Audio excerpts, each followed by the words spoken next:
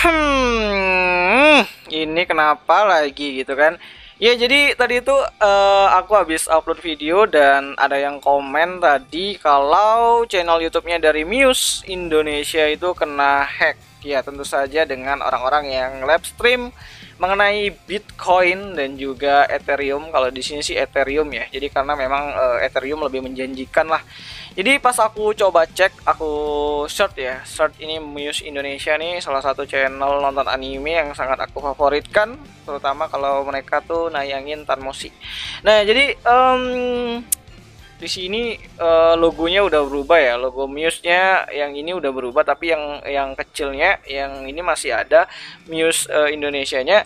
Terus namanya udah berubah juga Ethereum. Dan kalau kita klik ini bannernya masih banner yang lama. Banner bukan yang lama sih yang baru diupdate gitu kan di musim ini. Belum diganti sama pihak Ethereum-nya dan ini udah logonya udah berubah jadi E lagi.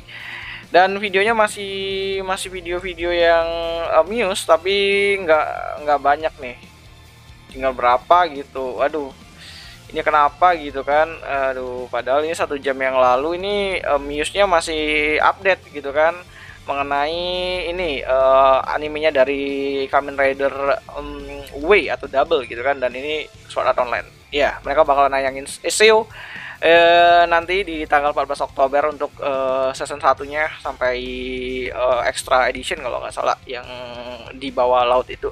Ya jadi balik lagi jadi sekarang pihak Muse-nya mungkin lagi apa ya recovery lah harusnya ya. Ini udah gercep banget lah harusnya kalau sekelas Muse gitu kan dan semoga aja kita berharap hari ini bisa inilah bisa balik lah besok udah bisa nonton anime terutama untuk orang-orang yang nungguin anime yang rilis hari ini ya. Hari ini tuh harusnya ada anime-anime bagus yang rilis di Muse tapi malah uh, kena musibah lah. Jadi semoga aja pihak Muse-nya cepet lah gercep lah gitu. Karena kan lagi musimnya ya lagi musimnya kalau kalian tahu itu channelnya dari Agaskun juga tuh uh, pernah kena hack gitu kan uh, dia juga chat aku di WA terus dia ngasih tahu bahwa channelnya kena hack.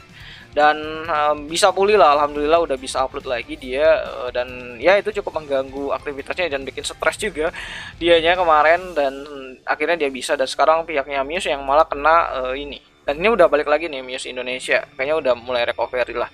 Jadi ya itu aja dulu sekilas info mengenai dunia peranimean terutama untuk channel yang sangat kita cintain ini Muse Indonesia ya. Aduh ganas-ganas ya sekarang para eker dan ya Hmm. Ya semoga cepat baik ya. Miss Indonesia ini udah Miss Indonesia ini masih Ethereum ya. Hmm.